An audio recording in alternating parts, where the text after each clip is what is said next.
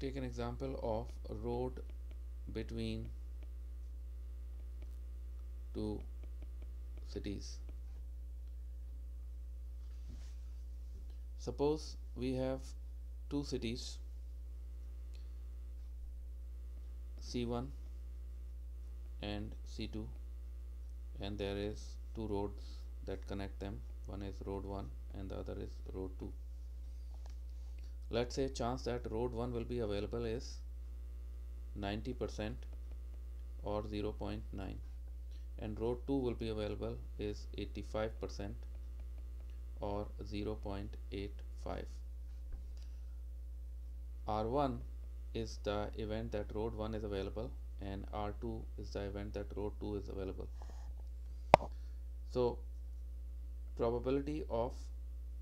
R1 or R2 is 0.9 plus 0.85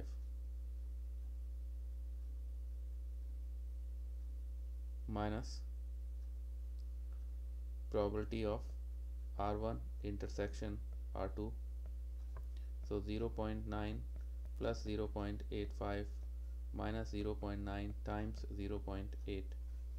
that is 0.98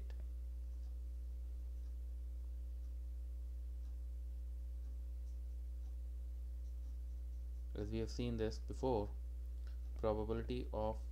A or B is probability of A plus probability of B minus probability of A and B.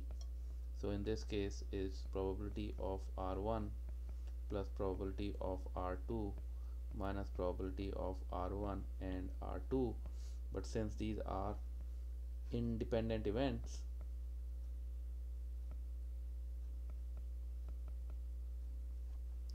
probability of R1 and R2 is equal to R1 times R2